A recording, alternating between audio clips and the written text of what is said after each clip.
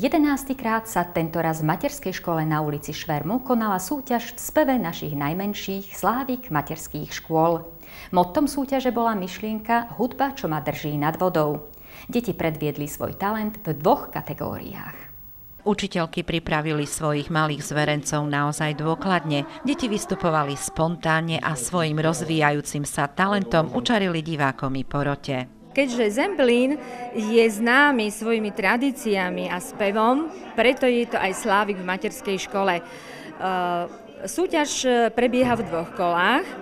Všetky materské školy e, vysielajú svojich zástupcov na základe toho, že v každej materskej škole sa konalo vlastné kolo Slávikov v materskej škole a tí najlepší vlastne sa zúčastňujú dneska na, tomto, na tejto súťaži. V prvom kole deti odspievali známe i menej známe zemplínske piesne.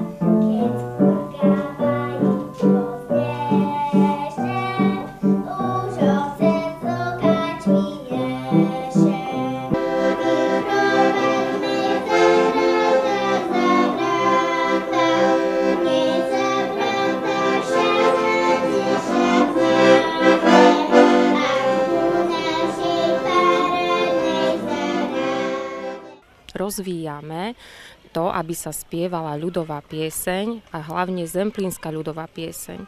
Pretože deti dneška majú niekedy problém pochopiť text zemplínskej piesne pretože je málo spievaná a táto súťaž dáva spevákovi interpretovať ľudovú pieseň nášho regiónu. V druhej časti predniesli deti moderné, detské i dospelácké pesničky. Prepíše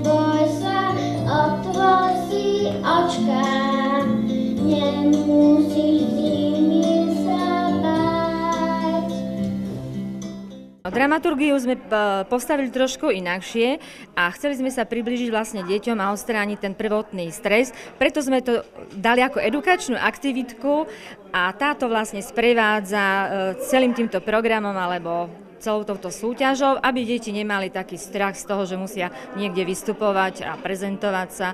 Takže ja som tá dobrá čarodenica Dorka, toto je moja priateľka, mačka Líza. Napekla som im chutné perníky, ktorými určite odmením ich usilovnosť a ich spevacké výkony. Rada spievam, najradšej. A ja rada spievam. A ja. Ľudové, alebo také normálne piesne. So sestrou aj s mamkou. A kedy si naposledy spievala? Okrem Včera aj dneska, keď som išla do škôlky. Že v televízii som by najradšej chcela byť a rozprávať. A najradšej spievam usilovný mrači so Simonkou. Chcela som sa podobať na Simonku a v druhej triede sa mi páči a spievam ešte básne.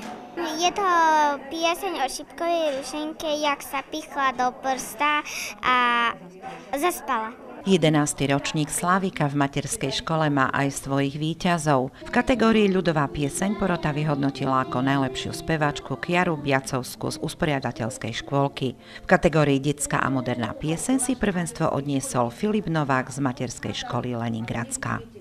Ešte som len malý, mám však taký